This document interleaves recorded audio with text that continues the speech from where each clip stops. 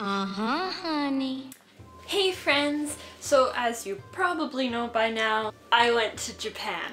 And I figured why not share some of the things I learned about Japan with y'all, so keep on watching. The first thing I learned is that the Japanese love vending machines. They have high-tech vending machines,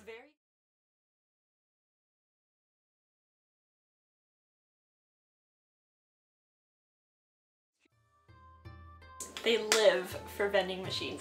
And um, I think it was Coleman who said they rack in like a trillion dollars a year with So if you're in an emergency situation and you don't have a street name, the vending machines have numbers on them. So you can call the authorities and be like, okay, I'm by vending machine 865 and someone's dying, please come fast. So it's kind of like a safety system too. Also, it's very humid in Japan, so the need for water is very great. So you can get water on every corner when it's 40 above. Something I learned that meant a lot to me um, as a future educator is that teachers get paid more than doctors. That's right, so uh, maybe I should go teach in Japan. Some other interesting facts about their education system is that the kids start walking to school when they're very young. You know, crime rate is low, so you'll see little four or five year olds walking to school with their really high-tech expensive backpacks and um, it's just normal. Also, there's no custodians in the school, so kids are taught to pick up after themselves, which is an important skill, and uh, it, you know, it probably diminishes the mess because, you know, kids don't want to clean up more than they have to, right? Education is highly, highly valued. They teach moral classes about taking care of the world around them. School runs Monday through Saturday, and there's only one month of summer vacation, which my tour guide said is great for the parents, but the teachers have a lot of work the whole year. Like I said, the Japanese do value the environment. They love keeping it clean. They want to protect their planet. They recycle. That being said, however, even though their streets are very clean, you don't see garbage anywhere, there are no garbage cans on the street because in the 80s there was an attack. Someone had put like poisonous gases in the garbage cans and it killed thousands of people, maybe even millions. So after that they decided like we don't want to have this risk for our people and they got rid of the garbage cans on the street. So if you have garbage you gotta like find a restaurant or something to put it in. Another thing we all learned is that shrines are very very important.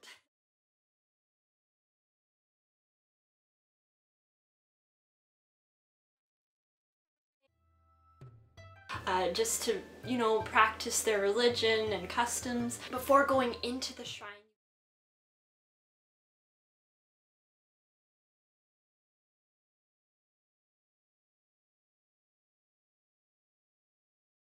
Told.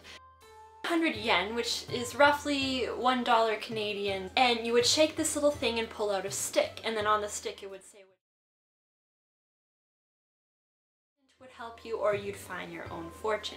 Now, if your fortune was good, which all mine were, thank the Lord, Victoria and I were quite nervous about that, then you could be on your way and, you know, have your fortune, live your life, get whatever it said you'd get. But if your fortune is bad, you'd have to tie it on this little, like, kind of metal line, tie it there, never look at it again, and walk away. And, you know, you don't want bad luck. The Japanese people believe strongly in luck.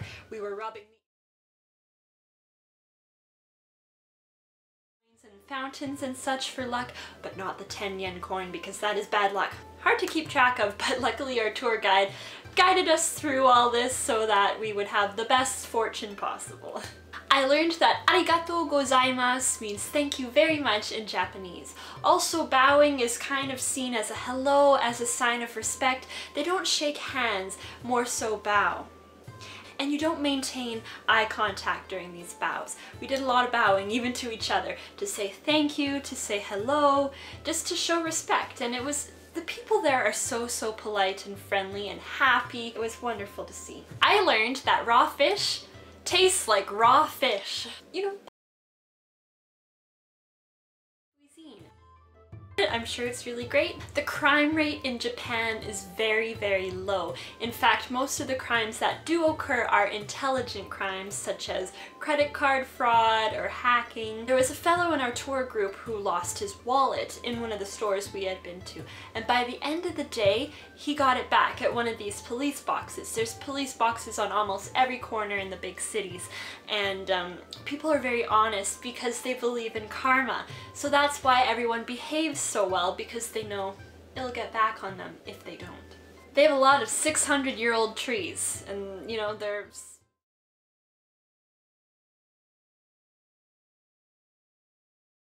in such a way trees can thrive for more than 500 years. When people pass away, they only cremate the bodies in Japan. We did go to an ancient graveyard. It was very interesting to see. All of the um, tombstones for children who passed away had these little red hats and aprons. Interesting to see how other cultures deal with death. Thinking of messing with a police officer? I wouldn't because they all have their black belts in Japan. Martial arts are highly valued and uh, if you gotta be a cop, you gotta know your stuff. Geishas are Japanese performers, very, very popular and very, very expensive. You don't want to touch one because they can cost something like a thousand dollars an hour. However, if the bow is in the front,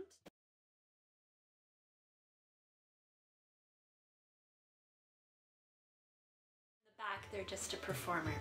I learned that McDonald's is better in Japan. The chicken nuggets were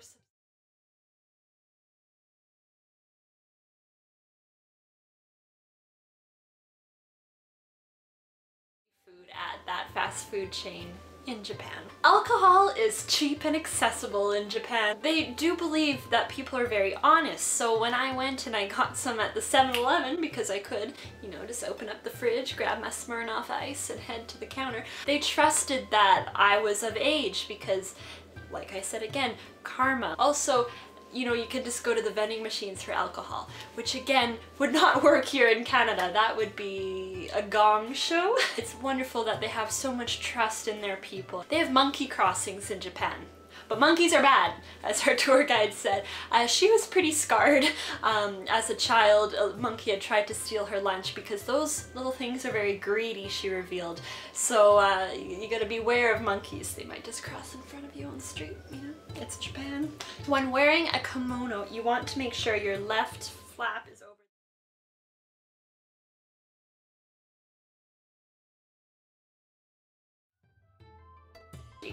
But we did not see Mount Fuji. It was a cloudy day.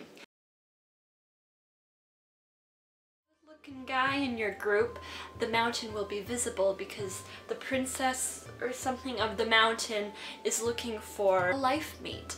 And uh, she wants a good looking guy as we all do. So uh, if there's a good looking guy she's like oh you can see my mountain. But if not she's like mm, clouds. I'm not messing with you so uh, Unfortunately, I guess we didn't have any good looking guys with us because we did not see Mount Fuji. However, on the flight in we did see it, so. Tokyo actually means east.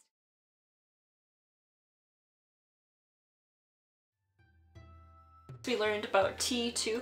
If you're invited to a high tea, you got to appreciate the cup you have because there's so many different cups out there and the patterns are so precise and detailed and well thought out and artistic that every time you go you'll get a different cup and it goes by seasons so when you get that cup it's really a once in a lifetime thing that you have and when you're drinking it you want to rotate it so that you don't destroy the most beautiful part of the tea. The samurai were the ancient warriors and the shogun was the highest warrior. We actually well because my friends in Quebec would always go to two different places, one called Samurai Sushi and one called Shogun Sushi. Japan is the world leader of robots.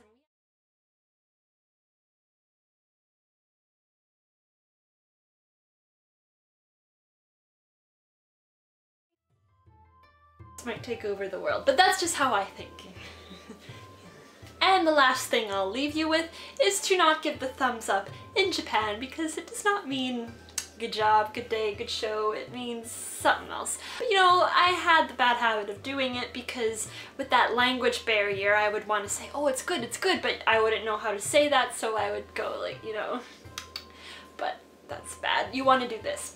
That means right on. So, uh, just a fair warning. Don't start doing this. You might offend people.